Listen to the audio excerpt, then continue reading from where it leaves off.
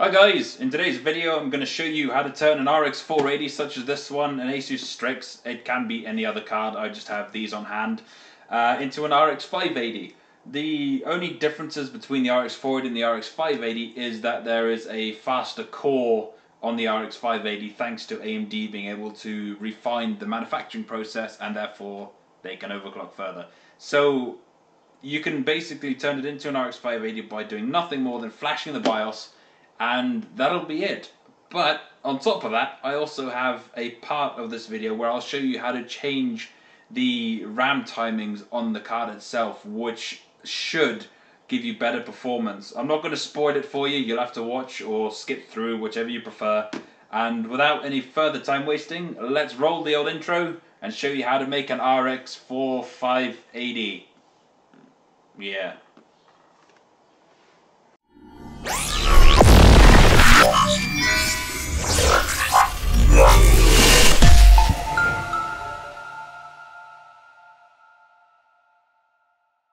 Okay, so welcome back.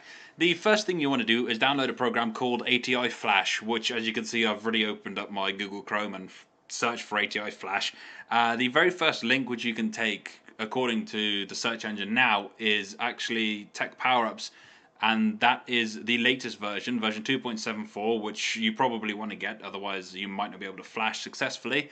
Um, depending on when you watch this in the future or not, you know, if there's a later version, go for it. I can't guarantee it'll work, but it probably will. Um, so all you got to do is just download that, use your preferred uh, connection wherever you're based.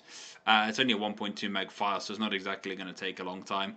And um, all right, once you've done that, uh, onwards and forwards. So you want to extract it. Just right click and extract. If you're on Windows 10, there's a good chance you probably are and uh, it won't take long at all. It's only a couple meg, as I said. And there's ATI Flash. So what you want to do is right click and run as admin because Windows 10 and all of its infinite wisdom seem, seems to think that the files are missing because, you know, it's got privileges and access rights and whatever. So, whatever, just right click. If you don't, it'll just tell you you got to right click and uh, run as admin. So, there you have it. Alright, so as you can see, RX 580 and an ATI Polaris 10, which is another RX 580, but because I'm running Crossfire, it doesn't pick it up, as far as I'm aware. So, first things first, click Save, which will bring up a new window. This will basically mean that you're saving your stock BIOS, so call it an aptly named thing, like stock. Alright, um, it'll take a couple seconds to download. It's not quick getting your BIOS off your graphics card, but it, you know, it's not to take the rest of the day either. So once it's saved, you're done with this part of the program for now. And as you can see, it's saved stock. So if anything goes wrong, you can go back to this file. I would personally recommend um, making a safe area where you can, uh, you know, get it back from, like maybe a USB stick or something like that. It, it, it just for, um, you know, just in case. That's all it is basically. All right, so once you've done that, what you want to do is select all of it and cut them and go into your C drive, which as you'll see I've already got an ATI file, but um, I won't delete it because it's got the files in there already. All you want to do is right click new folder and make it called ATI or something else if you want, but that's probably easier. Um, as you can see I've already got the files in here. So with that in mind, I also have the BIOS file for the RX 580 stored in here as well. So there's nothing more you need to do with it. It does say that it's a 256 KB file, which I will warn you now, a stock one is 512, and there's a good chance that it might throw up an error. Um, I will upload the 512 KB file as well as the 256 KB file because I've had some strange issues flashing these cards where 256 KB file works and a 512 doesn't, even though a 512 KB file is stock. It's kind of bizarre. I don't really understand why it does it, but I'll give you both. I highly, highly recommend you use the 512 KB file first to see if it works. Um, other than that, let's move on to the next step. Right, so open up command prompt, simply click on the start button, type in CMD, right click, run as admin, make sure you run it as admin, and then you'll be presented with your lovely command prompt. What would we do if we didn't have a GUI these days, huh?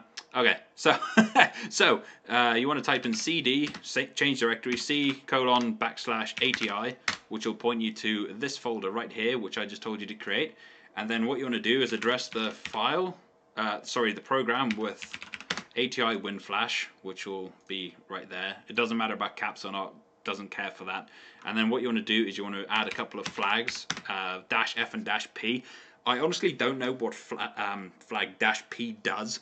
Uh, I just know to use it. Uh, I know that Flash, uh, that the F, thank you Facebook Messenger for interrupting me so ever so well. Um, dash F is to force the flash. So if you get a message saying, you know, can't flash because of different SSIDs or something like that, it's because you've forgotten the dash F to force it. To force it? To force it. So that will basically ignore the fact that you've got a 480 and trying to make it a 580. So that's why you put the, the force flag in there. And then next, after that, you want to put in the graphics card number, which is 0 for primary. Then you've got the secondary, which will be 1, and third will be two and onwards and onwards. You can, you know, whichever it is, that's the number you put in. So put in zero because you want. To, I'm going to flash the primary one first, and then you want to call the name of the um, the ROM that you want to flash, which is 580.rom, in that folder as well. Make sure it is in that ATI folder, otherwise it won't read it. And simply hit the old enter button, and it'll begin to flash. Now, usually if you're going to have an error, like it says uh, error not, ROM not erased or something along those lines, it will have happened by now. Um, if that does happen, try to use the 512 KB file again, but then if it keeps happening, use the 256 KB file and see if it'll go through because that's an error that I ran into in the past, and that's the way that I managed to get around it.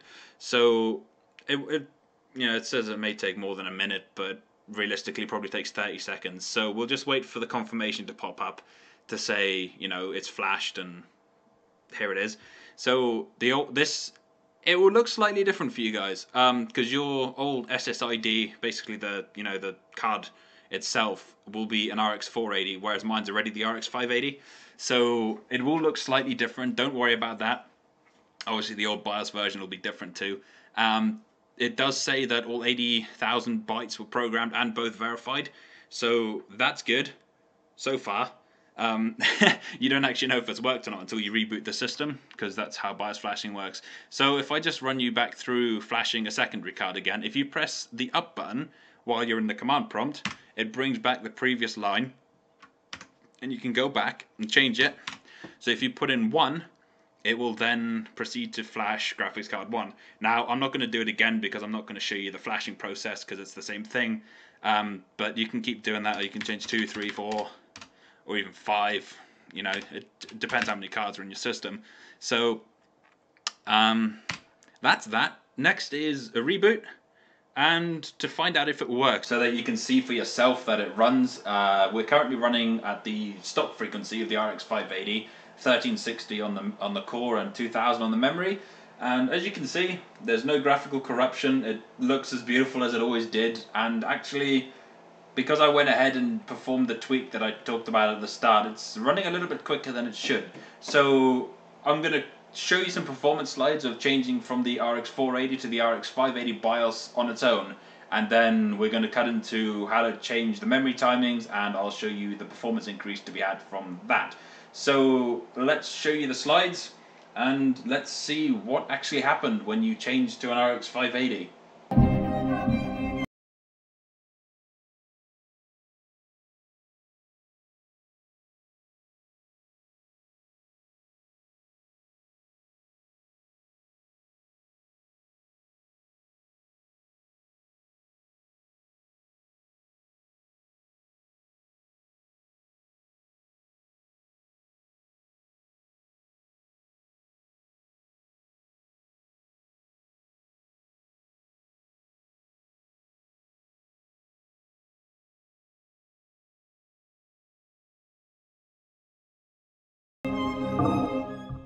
Alright guys, here we are. I'm just going to show you quickly how to download the Polaris BIOS editor, which uh, from this GitHub page. I will uh, leave a link down in the description below so you don't have to bother typing it out. Uh, all you need to do is click on clone or download and simply download as zip. Now I've already done this, but you know, might as well, it's only a tiny file, and it'll bring you this. What you want to do is extract it, either, you know, drag and drop to your desktop, it'll extract it like that, or via the conventional method, and um, if you open it up, here we have a couple files, and all you need to do is open up the BIOS editor, it'll warn you, of course, that it can be dangerous and irreversible damage, blah, blah, blah, blah, blah. Uh, you know, ignore that. And from there on, simply open up a BIOS file. Now, I already have my mod performed here, so I'm not going to open that one, but I'll open up a stock RX 580, which, as I was saying before, it warns you that it's less than the standard 512 KB. Now, don't worry about it necessarily. You can do it with a 512 KB file or a 256 KB file. It's it's not picky. Um, you can, as you can see here with the power play, I've just noticed this myself actually, is change the maximum frequencies that you can obtain within, you know, overclocking software such as MSI Afterburner or wherever you may wish to play. Because right now, 1770 and 2250 are the max I can get on this one because I haven't changed them. And I'm not going to bother changing it because there's not really much need. I'm never going to hit those frequencies with what we're about to do. So, the important part is, ignoring that, is this part here, the memory uh, megahertz. So as you can see, it's in a bunch of uh, hex numbers and decimals and all that sort of whatever you want to call it. And what you want to do is you can try with this number here, which is the 1500 megahertz strap, which will, as far as I can remember, give you CAS 13 uh, across the board. Well, it doesn't really work so well for me. So I decided not to use it and I've gone ahead and used the 1625 strap, which is this one here, as you can see. So what you want to do is right click or just Control C, however you prefer, it doesn't really matter, and copy that string. Make sure you select all and delete, first of all, in the 2000 megahertz strap, and then just paste it in there and it should be exactly the same. Make sure it is actually, you know, not going to have part of that string left in the middle, otherwise you will screw it up. So with that done, simply save. I'm not going to do it again because I've already done it. So save it as whatever you want. I just called it mod.rom because it's easy to type into the ATI WinFlash like I showed you before in the previous section. And what that will do is it'll give you CAS 13, uh, sorry, for the uh, CAS 13 if you've chosen the 1500 strap or CAS 14 if you've chosen the 1625 strap. Uh, I would highly recommend the 1625 strap just because it does actually work uh, and it's more consistent. But feel free to experiment. Don't go crazy and try and copy something like the 1000 strap, which is something like CAS, CAS 9 or CAS 10. Um, it's not going to work and you'll have some mighty fun time trying to recover your BIOS. So do, this is obviously done with caution. Don't you know? Don't be silly about it or anything because it does. Uh, it does play quite a big role in the actual functionality of your graphics card. So just proceed with caution. Understand that this obviously this can go wrong, and uh, let's show you a performance slide of what the differences are.